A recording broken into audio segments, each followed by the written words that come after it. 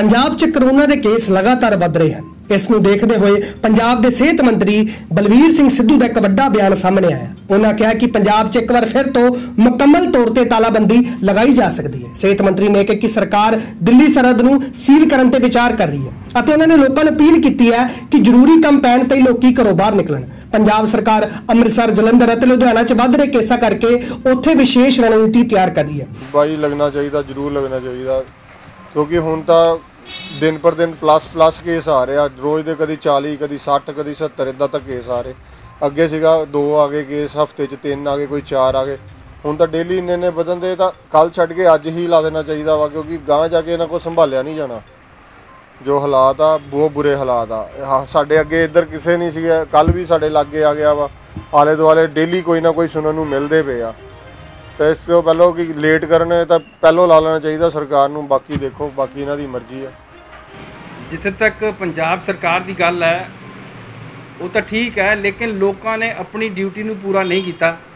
ਲੋਕੀ ਹ- ਅੱਜ ਵੀ ਅਸੀਂ ਦੇਖੀਏ, ਬਾਜ਼ਾਰ ਦੇ ਵਿੱਚ ਕਾਫੀ ਲੋਕ ਇਸ ਤਰੀਕੇ ਦੇ ਮਿਲਦੇ ਹਨ, ਜਿਹੜੇ ਮੂੰਹ ਦੇ ਉੱਤੇ ਮਾਸਕ ਨਹੀਂ ਲਗਾਉਂਦੇ।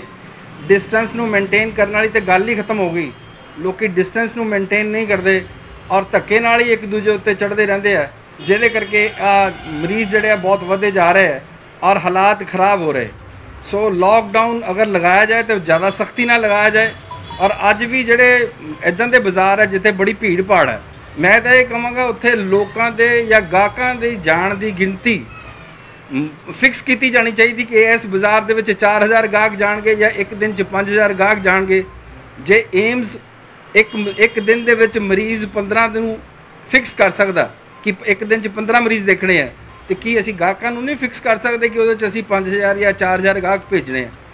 ਅਗਰ ਅਸੀਂ ਇਹ ਗੱਲਾਂ ਜੇ ਨਹੀਂ ਕਰਾਂਗੇ, ਤੇ ਅਸੀਂ ਆਮ ਪਬਲਿਕ ਦੀ ਜਾਨ ਨੂੰ ਮੁਸ਼ਕਲ ਦੇ ਵਿੱਚ ਪਾਵਾਂਗੇ।